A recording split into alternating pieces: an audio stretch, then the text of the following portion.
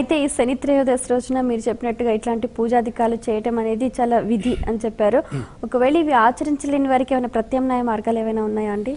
వారి పేరున దేవాలయంలో ఉన్నటువంటి అర్చక స్వాముల వారు పూజ నిర్వహించవచ్చు వారి గోత్రం పేరు చెప్పి చేయవచ్చు. అయితే కేవలం మనం ఫోన్ చేసి చెప్పకూడదు. ఆ ద్రవ్యం అన్నా ఇచ్చి వాళ్ళకి ఇచ్చి నమస్కారం చేసి చెప్పాలి. లేదా ఆ రోజున ఈ శనికి ఇష్టమైనటువంటి నువ్వులు అలాగే బెల్లము కలిపినటువంటి ఆ చిమ్మిరిని శని భగవానుడికి నైవేద్యం పెట్టాలి లేదా కొన్ని నువ్వు జీడీలన్నా కొన్ని దానం చేయాలి. మనకి ఈ సాయి దేవాలయాల్లో చూస్తే మనం ఎక్కువగా ఈ జీడులు ఇస్తుంటాం నువ్వు జీడులు. ఏమిటాయి అంటే శని పరిహారమే. అన్ని గ్రహాల్లోకి అంటే ఈ తొమ్మిది గ్రహాల్లోకి బాగా ఇబ్బంది కలిగించే గ్రహం శని గ్రహం. ఎందుకండి? అంటే ప్రధానంగా ఆలోచన.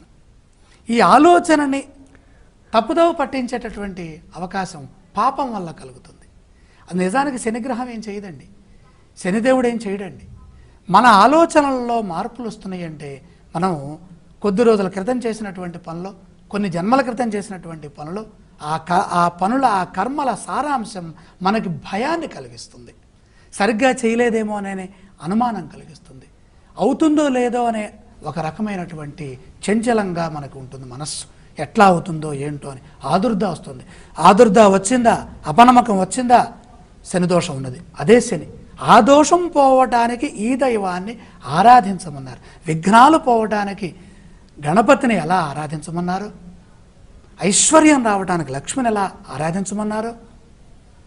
శని దోషం అంటే ఏమిటయ్యా అంటే పాపములు పాపం అంటే భయము. పిల్లలు భయపడుతుంటారండి పిల్లలు చదువులో మందంగా ఉంటారండి. అప్పుడు ఏం చేయాలి? వెంటనే వారి పేరు మీద ఈ శనిత్రయోదశి నాడు అభిషేకం చేయించాలి. వెంటనే వాళ్ళు చైతన్యవంతులవుతారు. ఎంత చెబుతున్నా ఉత్సాహం రావట్లేదండి. నిరుత్సాహంగా ఉంది. జీవితం మీద విరక్తి కలుగుతోందండి. బతకాలని ఆశ లేదండి. కొంతమంది అంటుంటారు "ఆ, ఇంకా ఉండి ఏం చేస్తామండి? అంటూ ఉంటారు. ఇదంతా ఏమిటి? పాపం. నిరాశ. అందరూ ఉన్నా కూడా వాళ్ళతో సుఖంగా ఉండలేరు మనం మంచి బట్టలు వేసుకుని ఎదుటి వాళ్ళు చూడలేరు. కొంతమంది ఓర్చలేరు. అసూయ జలసి ఇవన్నీ కూడా ఉంటాయి మనకి.